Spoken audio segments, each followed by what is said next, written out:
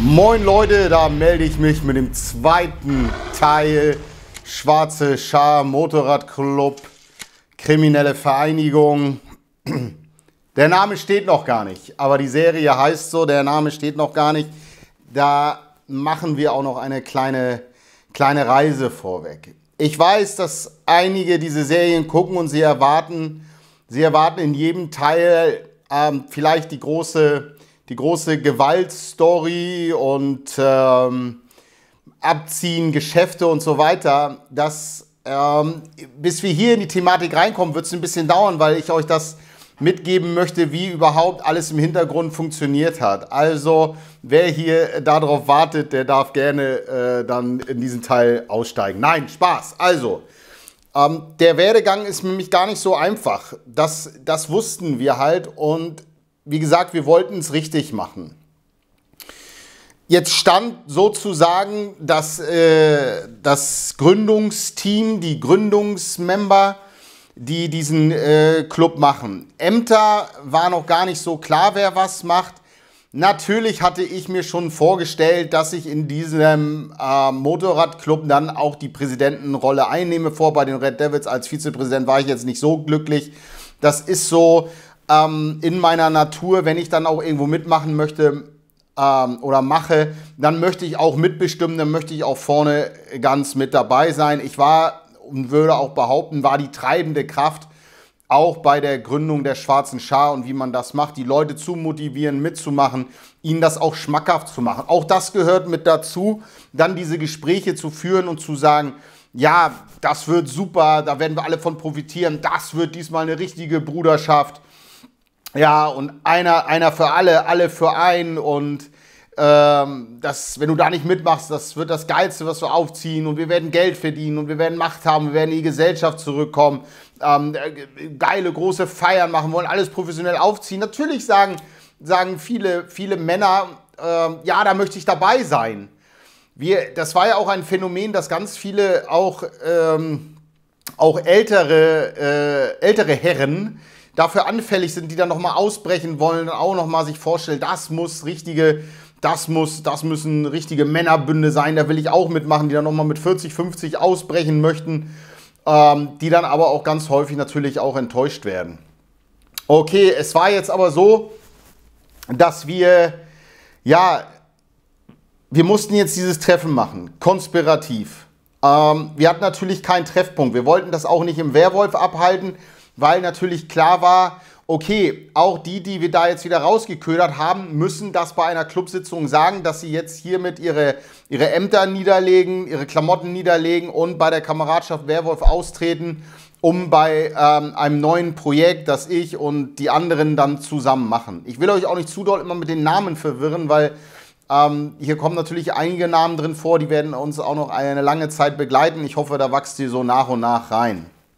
Ich kann empfehlen, dann immer die Serien von Anfang an zu gucken. Also, ja. Ähm, dann gab es sozusagen ein informelles, informelles Treffen. Ähm, das ist nicht so das Gründungstreffen, das würde ich jetzt nicht, würde ich das nicht nennen, aber wir haben uns dann im Tattoo-Laden getroffen, haben uns dann verabredet und haben gesagt, ja, okay, ähm, wir Gründungs wir Gründungsmitglieder treffen uns da und wir sammeln das erstmal alle durch. Alle kannten sich natürlich und dann haben ganz unterschiedliche Personen da was vorgetragen. Ich natürlich ganz weit vorne, habe das erklärt, was wir uns erhoffen und dass wir einen Namen suchen werden. Wir müssen ein Logo machen. Wir müssen über die Ämter sprechen. Es müssen Motorräder her. Da kommen die unterschiedlichsten Fragen auf. Ja, wie wird es finanziert? Wie machen wir Clubhaus? Wie, ähm, wie geben wir das bekannt? Die erste Problematik, vor der wir natürlich standen, war jetzt erstmal, wir hatten den Popeye rausgezogen, wir hatten den Ditsche rausgezogen nochmal äh, aus, aus Werwolf und die mussten das auch sagen. Dann haben wir gesagt, ja gut, da müsst ihr zur Clubsitzung hin und müsst den Butter bei die Fische machen. Das ist für die dann auch immer ein Schlag, das sind dann auch zahlende Mitglieder. Auch der Ditsche, der bei uns Secretary werden sollte, hatte sich da gekümmert, so um die Finanzen. Und wir hatten ja dieses Haus gemietet, wo die Wolfshöhle 2 drin war. Das musste weiterfinanziert werden. Habe ich Ihnen das gesagt, Sie sollen das genauso machen, wie wir das vor einem Jahr vorher gemacht haben. Ja, wir bleiben ja alles Freunde, wir bleiben ideologisch nahe, aber wir wollen halt jetzt auch auf die Motorradschiene sozusagen einen Aufstieg. Wir wollen auch äh, ein bisschen was anderes und wollen raus aus dieser aus dieser rechtsextremen Blase. Das haben die dann auch bei einer Clubsitzung erzählt. Das wird natürlich erstmal nicht so positiv aufgenommen. Direkt ins Gesicht sagt das, sagt das dann so keiner. Also zu mir und zu den anderen ist keiner gekommen. Da waren wir dann wahrscheinlich zu dem Zeitpunkt war ich dann noch Respektsperson genug. Das ist heute ja, hat sich ja gedreht. Aber damit kann ich ganz gut leben. Und äh, also uns, wir, uns wurde nichts gesagt. Denen gegenüber kam schon eine Ablehnung. Ähm, da schwingt dann immer natürlich dieses Wort so, ja, Verrat, Verrat an der Gruppe. Ähm, ja, wir haben uns noch vor ein paar Wochen, haben wir uns Bruderschaft geschworen, haben zusammen gefeiert und äh, wollten uns gegenseitig in eine, in eine Luftgewehrkugel äh, schmeißen. Und dann kommst du natürlich hin und sagst, hier sind die T-Shirts, hier ist die Jacke, ich mache jetzt woanders mit, ciao Kakao, Leute, danke. Natürlich äh, gab es da Lästereien und so untereinander und wir haben gesagt, ja, das legt sich schon. Auch ich bin dann wieder zu denen hingefahren und habe dann gesagt, ja, wir haben ja trotzdem da am Wochenende saßen wir da trotzdem zusammen und haben da getrunken, weil wir hatten ja keinen Ort. Das war jetzt nicht so, dass wir jetzt immer so viel in Kneipen rumhingen, sondern das war schon ganz gut, dass wir immer noch diesen Werwolf-Ort hatten. Wir haben dann da ganz normal unsere Getränke bezahlt und haben dann da halt auch gefeiert und habe denen dann gesagt, ja, ist doch geil, wenn wir dann zwei Gruppierungen haben und wir helfen uns gegenseitig wieder dieses so, dieses so Netzwerken ja untereinander. Aber eigentlich wusste ich, okay, das wird sich nach und nach immer weiter trennen. Das war, das war für mich ganz klar. Und ähm, das wurde dann aufgenommen und dann hatten, dann hatten wir das besprochen und haben gesagt, ja, wir, wir würden jetzt ja gerne auch den neu zu gründenden Club öffnen ähm, auch für schon Leute, die jetzt mitmachen wollen von Tag 1 sozusagen. Dann sind wir äh, in, die, in, die, in die Phase gegangen, dass, äh, dass wir rumgefragt haben von den sieben Gründungsmembern ähm, in dem Umfeld, okay, wen könnten wir dann fragen, ob sie Bock haben, irgendwie mitzumachen im Status eines Prospekts oder im Status eines Hängers. Da haben dann zwei, drei Leute auch, auch äh, Personen vorgeschlagen. Ich selber war immer ein äh, Verfechter davon, okay, erstmal eine Chance geben, dafür ist die Prospektzeit oder die Hängerzeit da. Also ein Hänger ist die niedrigste Stufe, die man, äh, also die man, oder ist die erste Stufe, die man an einem Club erklimmt. Ähm, da kriegt man meistens einen Aufnäher vorne, oft umgedrehte Farben oder da steht dann auch Hänger drauf oder dann zwei Patches vielleicht vorne. Und äh, das heißt, ja, man hängt sozusagen äh, bei dem Club rum, aber hat schon einen Status im Club, ja, Hangaround. Und die nächste Stufe ist dann immer der Prospect, also der die erste Stufe dann durchlaufen hat. So eine Hängerphase dauert äh, oft so ein halbes Jahr, dass man den so ein bisschen kennenlernt und die richtige Prospect-Phase ist, ähm, wo man dann auch wirklich zu Diensten des Clubs ist. Man hat man hat alle Pflichten im Club, aber nicht alle Rechte. Ja, ähm, das heißt, man ist sowas wie, wie ein Anwärter auf den Status eines Vollmembers. Und da wurden dann unterschiedliche Personen vorgeschlagen. Das ist dann auch immer, ähm, ja, die, die da am Anfang mitgemacht haben, die haben dann auch gedacht, so, ja, mache ich mal und klar bin ich dabei und Motorrad und klar treffen wir uns die hatten so überhaupt keine Vorstellung. Da sind wir auch ein bisschen naiv rangegangen und haben so gedacht, okay, wissen die überhaupt, was das bedeutet? Ich glaube, das ist heute für viele noch nicht, ähm, noch nicht klar, was das bedeutet, irgendwie in, einem, in einer kriminellen Vereinigung oder im 1%er-Club, ähm, in einem Motorradclub mitzumachen. Das alles andere im Leben ähm, geht auf Platz 2. Der Club geht auf Platz 1. Das ist äh, für viele das absolute Lebenselixier ähm, die einzige äh, Sache, die ihnen was wert ist. Und ähm, dann gibt es natürlich die, die denken, ja, okay, wir treffen uns alle zwei Wochen mal, um eine Party zu machen und dann hole ich mir irgendwann in drei, vier Jahren ein Motorrad und dann düsen wir zweimal im Jahr durch die Gegend und denken, so läuft das. Da clashen Welten aufeinander. Kann nicht funktionieren bei den unterschiedlichen Vorstellungen, wie das dann so läuft, aber man spricht ja mit denen und das werden auch einige wieder kennen. Hashtag kenne ich, man spricht mit denen.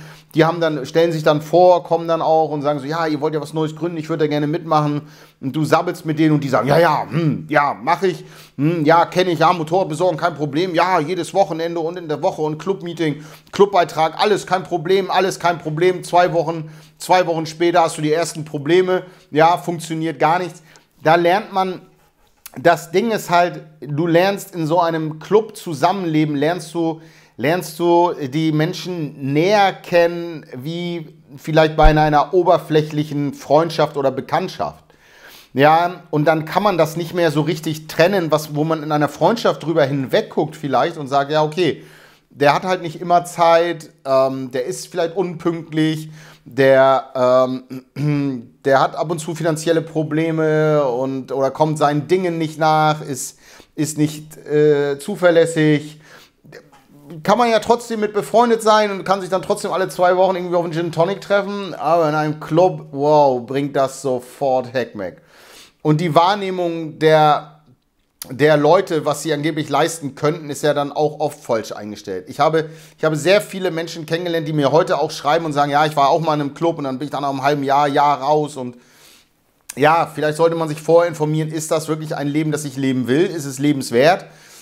Und kann ich das leisten, was diese Clubs von mir erwarten? Ja, da muss man sich einfach mal ein bisschen informieren. Hier ist zum Beispiel ein Kanal, wo, drüber, wo man sich darüber informieren kann.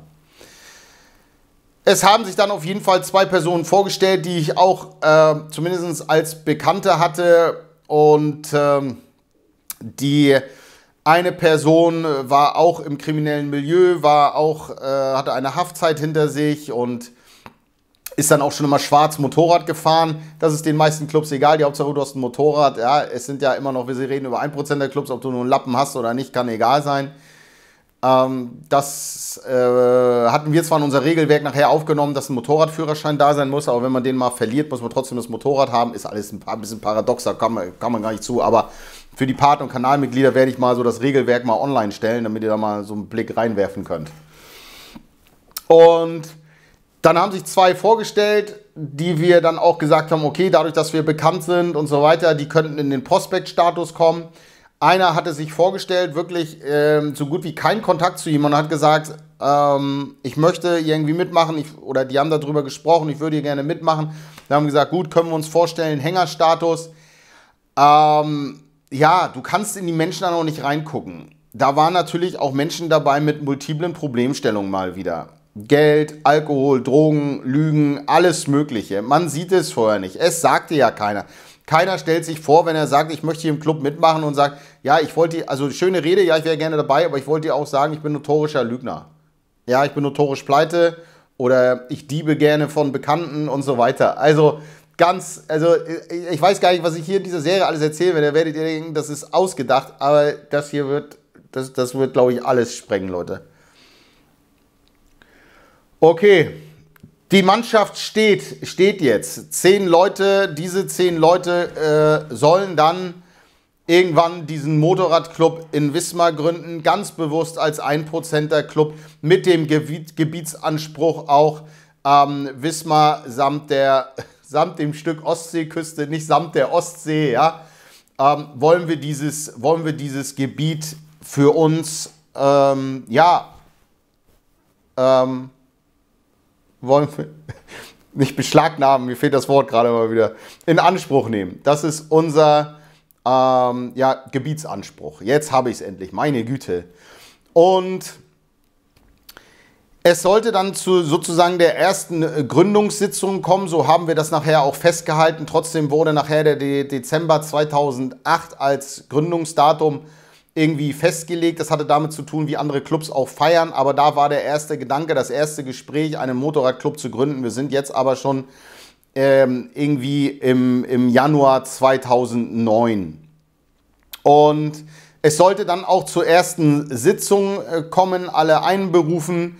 Und wir waren natürlich noch komplett ohne alles. Alle in Freizeitkleidung von äh, sehr, sehr bunt gemischt im Klamottenstil und haben uns dann mit diesen zehn Leuten im Tattoo-Laden getroffen und haben dann beschlossen, der erste Beschluss war, dass wir sagen, ja, wir gründen zusammen diesen Motorradclub. dann ähm, hatten wir das sofort übernommen und haben gesagt, okay, bei der ersten Gründungssitzung dürf, dürfen Prospects und Hänger nicht dabei sein. Ihr dürft mal vor der Tür warten. Die sieben selbsternannten Gründungsmitglieder ähm, werden jetzt gewisse Sachen erstmal besprechen und werdet ihr dazugeholt. Weil ähm, in den meisten Clubs oder ich würde sagen in fast allen Clubs ist es so, dass die Hänger und Prospects keine Stimme haben und auch an den üblichen Clubsitzungen nicht teilnehmen. Die werden dann nachher zu Clubsitzungen mit reingenommen, wenn es dann auch um Prospect-Sachen geht oder auch um Sachen, die Prospects und Hänger hören dürfen. Da gibt es ganz klare Abstufungen, da legen die Clubs auch sehr viel Wert drauf. Das ist, ähm, das wie gesagt, wird sehr, sehr ernst gelebt. Ganz kurz in eigener Sache, wenn ihr uns unterstützen möchtet, mein Buch ist draußen, Hass macht Gewalt, Spiegel, Bestseller die Marke hinter dem Produkt, King unter den Kongs. Checkt das mal aus. Unter dem Video sind ganz viele Links, wie ihr uns supporten könnt in unserer Arbeit, Deradikalisierung, Anti-Gewaltarbeit im Internet und oder an Schulen. Also ganz viele Möglichkeiten. Daumen hoch, Daumen runter, kommentiert. All das hilft. Vielen lieben Dank und Ahoi, Video geht weiter. Ja, jetzt saßen wir, jetzt saßen wir zusammen und dann war es natürlich erstmal, okay, wie nennen wir uns?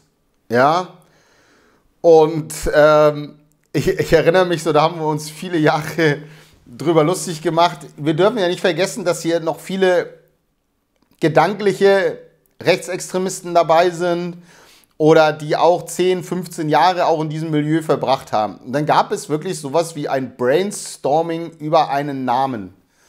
Und ähm, da gab es dann so, so Vorschläge, einfach musste es auch so vorstellen. Dann, dann der Ditsche, unser, unser Secretary, sagte dann so: Ja, geil wäre irgendwie so White Rider. Ja, da gab es auch mal eine CD von, von äh, Screwdriver, glaube ich, einer Neonazi-Band aus England. Ja, hat sich dann so vorgestellt: Ja, so ein, so ein, so ein Clansmann ähm, vom Kuckucks Clan, der dann auf dem Pferd mit einer Fackel und das sollte unser Logo werden. Und dann wir sitzen da so: mm, mm, mm, Digga! Wir wollen weg von der, wir wollen weg von dem Kram, da können wir das Logo übernehmen von, von einer Neonazi-CD und dann White Rider. Ich sag, ich sag da auf gar keinen Fall. Und dann sagte auch Thomann, der auch immer für, für so manchmal gedankliche Aussetzer äh, zuständig war, erinnere ich mich noch, wie er sagte, so, ja, wir bräuchten irgendwie so einen edlen Namen und wird wir, mit wir auffallen, irgendwas ganz Geiles, Edles und und ähm, sowas wie Diamonds oder so. Und ich sag's, ich fahre nicht durch die Gegend irgendwie. Ja, und dann haben sie natürlich alle gleich lustig gemacht und haben gesagt, wir machen uns doch hier keine Kutte jetzt mit Swarovski-Steinen und mit Strass und schreiben hinten drauf Diamond Rider irgendwie Wismar oder so, ja. Tut mir leid, dass ich dabei gleich so schmunzeln muss, aber so war das, ja. Du, du siehst diese, diese sieben äh, Gewalttäter, Verbrecher, ehemaligen Neonazis, die da sitzen und sagen, sie wollen sich Diamond Riders nennen oder White Rider und ja, da fällt mir auch gleich ein White Rider oder sind wir Twix? Ja, gut, okay. Und also eine, eine wirklich längere Diskussion darüber und okay, sind da wirklich nicht vorwärts gekommen, haben dann wirklich so eine Pro-Kontra-Liste, jeder durfte was vorschlagen manchmal stellt man sich das so vor, dass das so, ja, weil so entstehen halt Clubnamen, ja. Also da ist, das ist kein Hexenwerk, sondern man diskutiert darüber, Abstimmung und so weiter. Ähm, wir sind in der ersten Sitzung da nicht zueinander gekommen. Ähm, ganz klar war für uns, okay, wir müssen jetzt hier ein Regelwerk aufsetzen. Wir waren sehr enttäuscht von dem Regelwerk, was wir äh, bei den Red Devils in Rostock hatten. Das war ja auch unsere Schuld, dass wir da mit, weil wir hatten kein Regelwerk. Ja, der eine, der eine hat die Kutte immer in den Kofferraum geschmissen. Und äh, ach, ich darf ja gar nicht vergessen, wir hatten noch einen Member mehr dazu. Oh, das ist fast untergegangen. Und, äh, und zwar der Daniel ja aus Rostock, der hat auch, der hat auch bei uns am Anfang noch mitgemacht. Ähm, als einziger aus der alten Rostocker Gang, der war dabei, genau. Der sollte als erstes auch den, das Sergeant-Amt übernehmen. Meine Güte, da habe ich beinahe einen Ablauffehler gehabt. Ich hoffe, ihr verzeiht mir das. Ich mag das Video nicht neu anfangen. Sondern natürlich der Daniel war auch dabei, der, mit dem wir ja auch mittlerweile ähm, Drogengeschäfte gemacht hatten und die unterschiedlichsten Sachen dann organisiert hatten.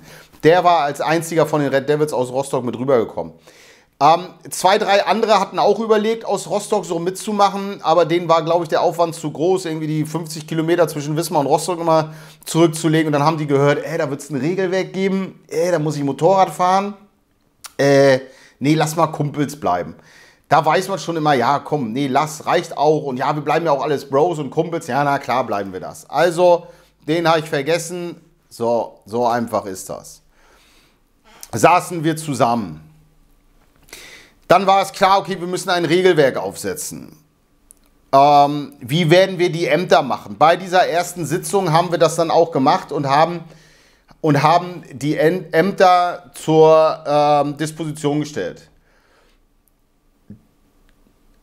alles, was in dieser Sitzung, das muss man sich vorstellen, dass so eine Sitzung dann auch vier, fünf Stunden dauert. Okay, haben wir gesagt, okay, wollen wir erstmal, wollen wir einen englischen oder einen deutschen Namen? Da haben wir gesagt, nein, wir sind ein regionaler Club, wir, ähm, wir wollen einen deutschen Namen. Da hat, hat sich natürlich später auch die Presse drauf gestürzt und hat gesagt, ja, der erste, wie gesagt, äh, neonazistische Motorradclub bekennt sich zu seinen deutschen Wurzeln, weil der stand mal bei uns auf der Homepage schon drauf. Ähm, wir bekennen uns zu unseren deutschen Wurzeln, deswegen haben wir die Ämter auf Deutsch gemacht. Wir haben die Ämter dann eingedeutscht, ja. President wurde zu Präsident, wow. Ähm, dann Vizepräsident, dann hatten wir ähm, den Scharführer, ähm, der ähm, gleich dem Sergeant at Arms war. Dann hatten wir den Schriftführer statt, Sekret äh, statt Secretary. Dann hatten wir ähm, Kassenwart oder Kassenführer? Wahrscheinlich haben wir Führer genommen. Ich glaube, da hatten wir Kassenführer. Ja, oder Kassenwart, ich weiß es nicht mehr. Ähm, was natürlich der Treasurer ist. Und dann hatten wir den Wegführer, der der Road Captain ist. Also, und da waren wir uns dann einig, okay, wir werden die Ämter auf Deutsch machen. Und dann haben wir auch an, bei der ersten Sitzung auch die Ämter gewählt und verteilt. Ähm, immer nach Vorschlägen, das war es also, man konnte sich selber vorschlagen oder halt man wurde vorgeschlagen. Ähm, sich selber vorschlagen ist ja dann immer so eine Sache. Gott sei Dank wurde ich dann vorgeschlagen. Ich äh, wurde dann auch als Präsident vorgeschlagen, ähm, habe die Wahl dann auch angenommen. Ich habe dann selber den Christian Linteduvere als äh, Vizepräsidenten vorgeschlagen und so wurden die Ämter dann verteilt, wie ich das gesagt habe. Der Klaus ähm, hatte dann am Anfang kein Amt, sondern der Daniel aus Rostock wurde unser erster Scharführer, unser Sergeant.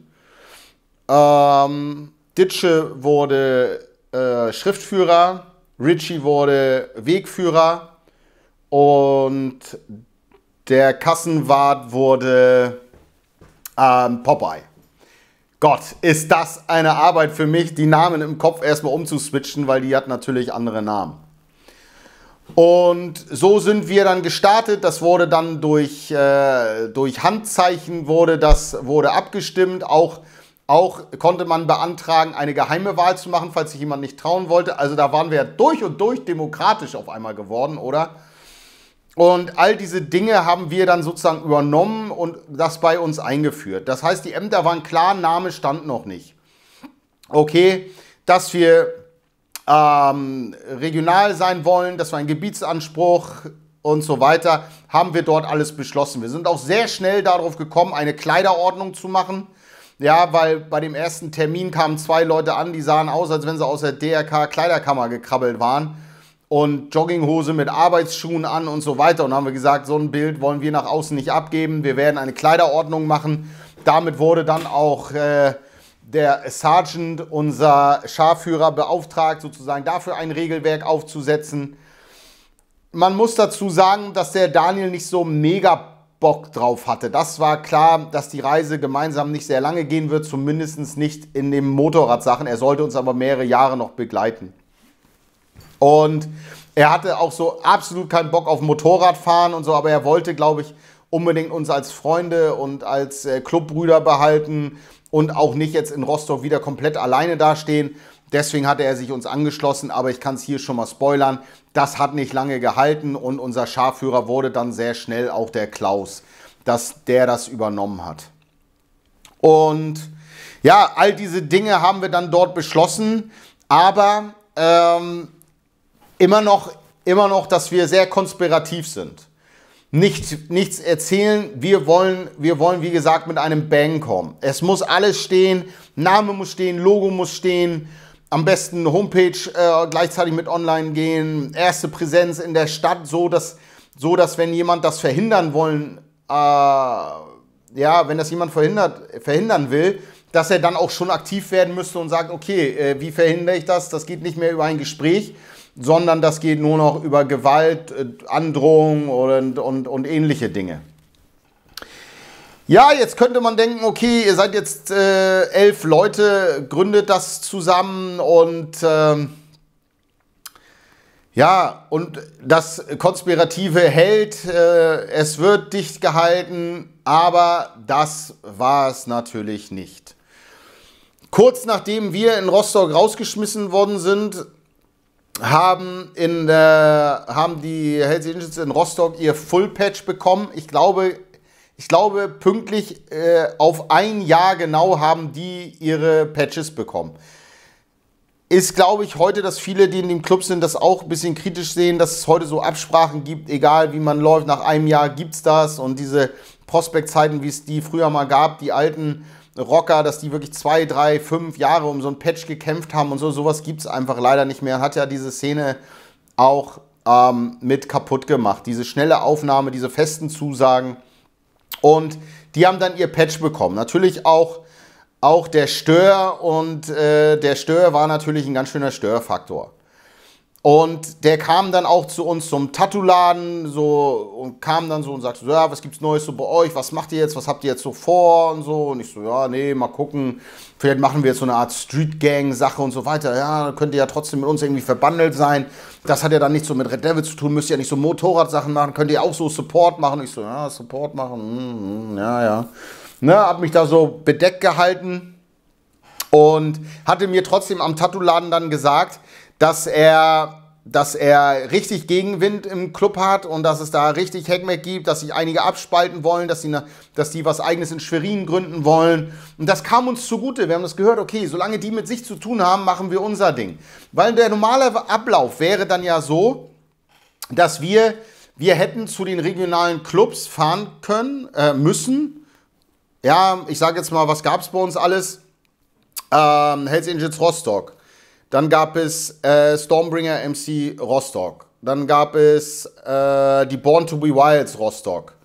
Dann ähm, gab es die Black Union Schwerin. Ich weiß gar nicht, ob es zu dem Zeitpunkt noch einen Lordeljungen gab.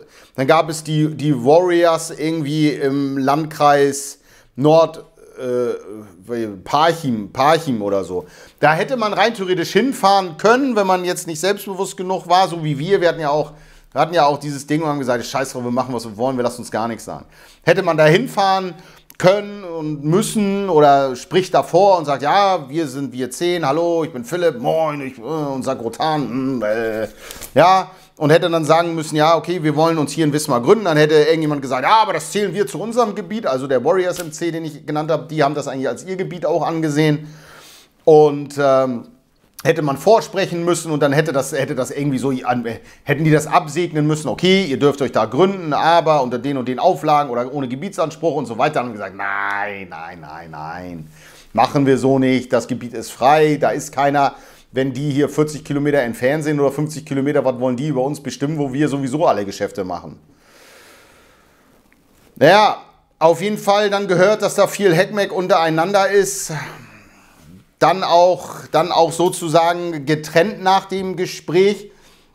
Aber es sollte gar nicht lange dauern, dass ich einen Anruf bekomme. Obwohl es alles sehr konspirativ war, habe ich einen Anruf bekommen von Stör.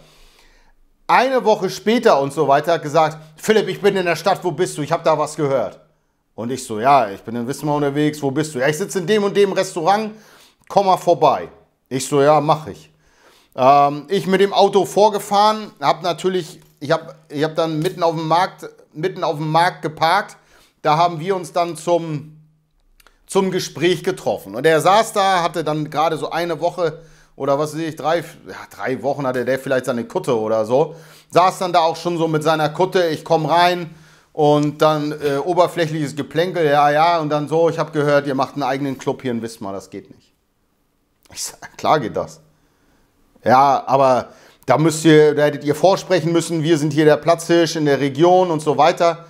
Ich sage, ja, aber ihr habt mit euch selber zu tun. Ich sage, wir sind in Wismar, wir machen die Geschäfte hier in Wismar. Und ähm, ja, die Gründung wird auf, jeden Fall, wird auf jeden Fall über die Bühne gehen. Und wir sind da auch schon voll bei und ähm, wir lassen uns das nicht verbieten. Und er so, ja, aber ich muss das durchziehen und ich bin hier. Und ähm, tja, ich kann euch sagen, es kam zur Gründung und das wurde nicht nur mit Applaus begrüßt. Und ähm, wer und wie und was sich dagegen gestemmt hat und wie wir dem begegnet sind, wisst ihr was, Leute? Das erzähle ich euch im nächsten Teil. Und wie wir auch zu dem Namen kamen, erzähle ich euch. Und ich verbleibe, wie immer, mit einem Ahoi von der Küste.